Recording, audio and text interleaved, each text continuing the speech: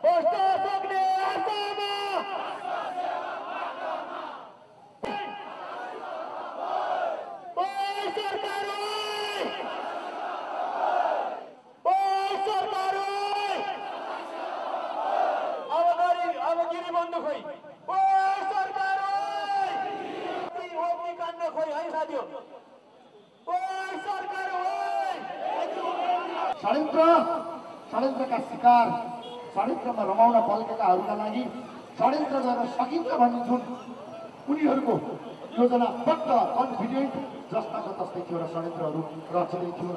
रचियो। अब आयो। आज यो राष्ट्रिय झन्डा पनि उपस्थित आमा बुवा दाजुभाइ दिदीबहिनीहरूलाई म आह्वान गर्न चाहन्छु के त्यो दसौँ वर्ष अगाडिदेखि चलेको विवेकशीलदेखि लिएर नयाँ शक्तिको वैकल्पिक राजनीतिक बहस हाम्रो नेतृत्वमा हामीले यो साढे दुई वर्षको बिचमा खेलेको भूमिका कहीँ कतै गलत पाउनु भएको छ नराम्रो के गरेका छौँ त? सदनमा तिनका कानका जाली फुर्ती गरी भ्रष्टाचार गर्नु पापी हो भ्रष्टाचारीहरू धुम्बुकारी हुन् भन्ने शब्द गलत हो त्यो सदनमा तिमीहरूले बिल बिजुलीको बिल तिर्न पर्दैन व्यापारीलाई भन्छौ। हामी जसरी नै तिराएर छाड्छौ भनेर सशक्त आवाज निकाल्दै गर्दा त्यो सदनमा बोल्दै गरेको माइक काटिने चाहिँ के हो? यही होइन यिनीहरूले गरेका सदनमा र समितिमा। हामीले देखाएको प्रस्तुति। तपाईँहरूले अपेक्षा गरे भन्दा बाहेक केही फरक गर्यो? गरेनौ। निध हराम भएको छ यिनीहरूलाई म आह्वान गर्न चाहन्छु। अब यो अभियान अहिले मैले सुरुमा जोडेको छु। अन्यायपूर्ण व्यवहार छँदैछ। अन्यायपूर्ण व्यवहार छँदैछ कसले गरेका छ?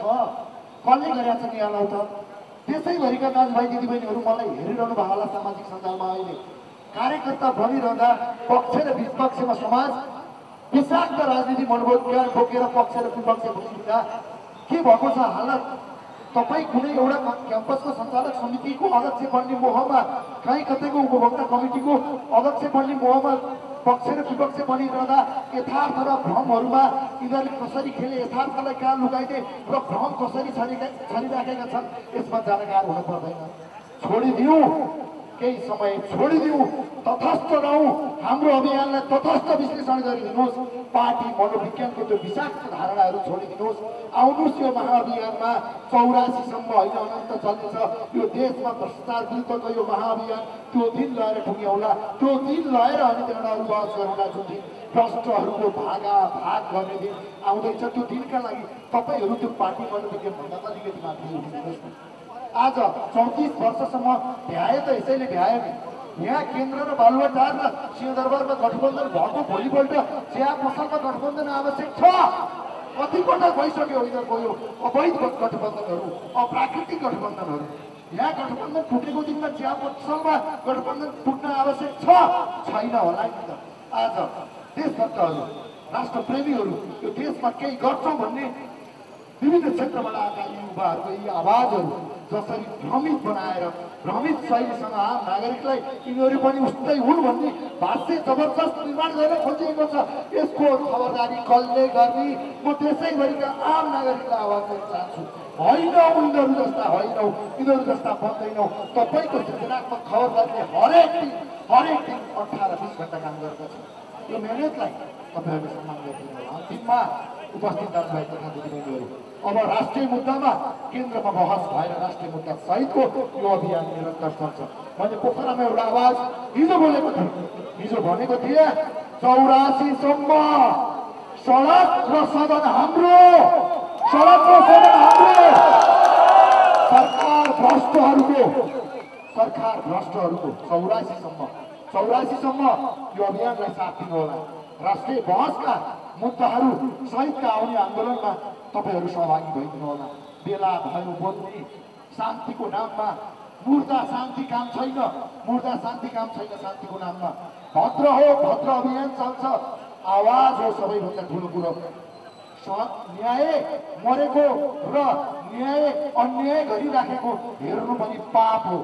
होइन बोलौ आऊ जागौ दसौँ वर्षदेखि चलेको वैकल्पिक शक्ति र विवेकशीलहरूको नयाँ शक्तिहरूको अभियानलाई मूर्त रूपमा अगाडि बढाऊ भिडभाड नगरिकन यो र्यालीलाई अगाडि बढाउनको लागि म अनुरोध गर्न चाहन्छु म साथीहरूलाई पछाडि रहनुहुने साथीहरूलाई भिडभाड नगर्नको लागि म अनुरोध गर्न चाहन्छु मैले यहाँ अगाडि अगाडि जाँदैछु साथीहरू कृपया भिडभाड नगरिकन लाइनबद्ध रूपमा यो र्यालीलाई एकदमै शान्तिपूर्ण रूपमा अगाडि बढाइदिनको लागि म हार्दिक अनुरोध गर्न चाहन्छु